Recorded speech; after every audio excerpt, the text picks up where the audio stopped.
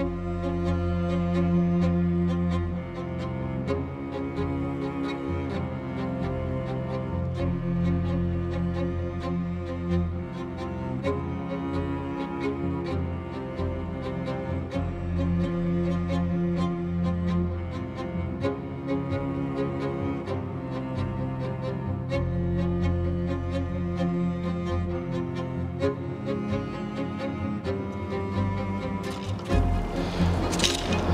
This is my interpretation of Demolition 1972.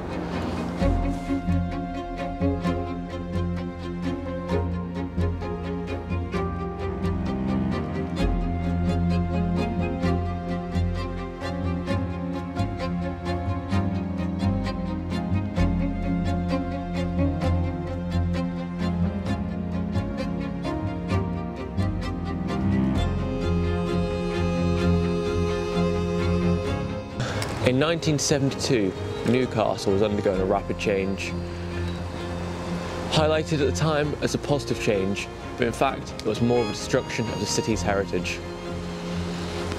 So let's explore this changing city and pick up where Amber left off in 1972.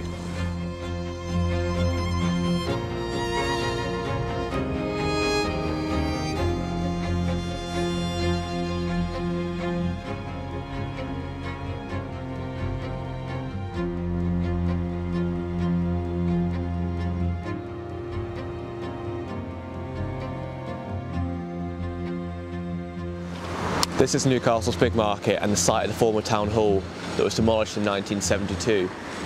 The town hall stood on the site for over 100 years. In 1972, the town hall was demolished following opening of the civic centre at Barras Bridge. Often called one of the largest post-war buildings in Newcastle, the modernist civic centre was opened in 1967.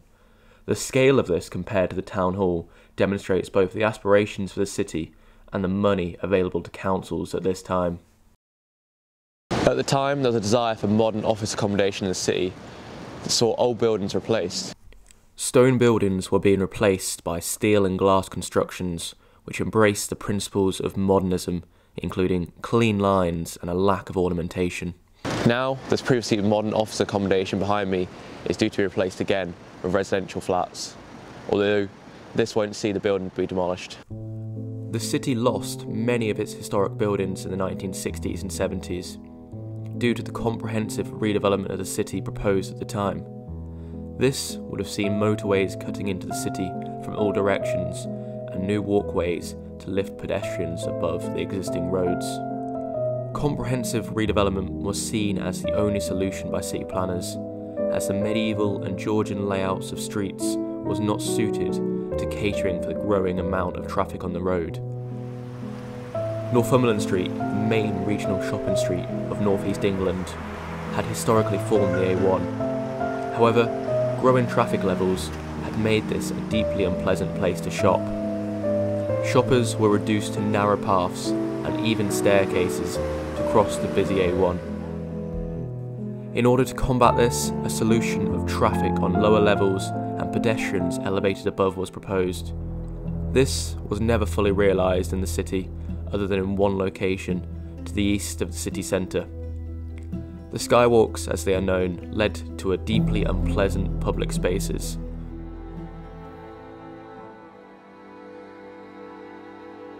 The fate of Northumberland Street saw a fully pedestrianised street following the construction of the Central Motorway East. There was also a desire for modern shops in the city, as a lot of the shops dated back to Richard Grainger in the 1830s, where he built Grainger Town. Therefore, there was a real desire for modern retail space within the city itself. The redevelopment of any part of a city leads to loss of heritage. However, comprehensive redevelopment in the 60s and 70s led to a greater loss of heritage than before. 100-year-old buildings were torn down and replaced by a brick and glass shopping mall.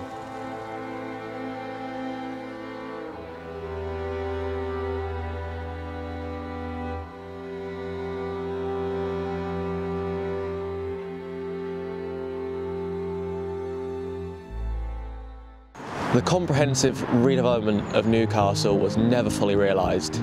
However, The development at this time hit really every point of the city, including iconic landmarks such as All Saints Church behind me.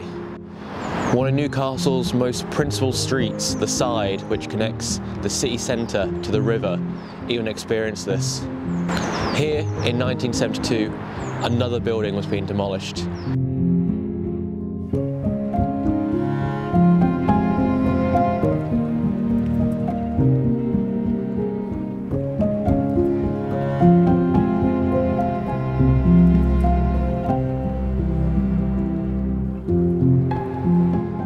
This was for the formation of Cale Cross House, one of Newcastle's tallest buildings at the time.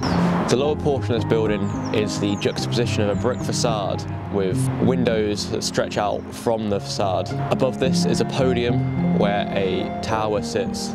Now, Cale Cross House itself is facing redevelopment. Originally built as an office block, with the changing needs of office accommodation, this is now being converted into residential flats. The transformation during the 60s and 70s aimed at making it a modern regional centre for Newcastle. The results of what was created was a lot less than that. Instead, it sought to invite the motorcar into every point of the city, a demolition of historic parts of the city centre. Walkways and skywalks poorly lit and poorly maintained, under and over motorway-sized roads the loss of historic buildings, which now would have been repurposed, the invitation of the motorcar into the city centre.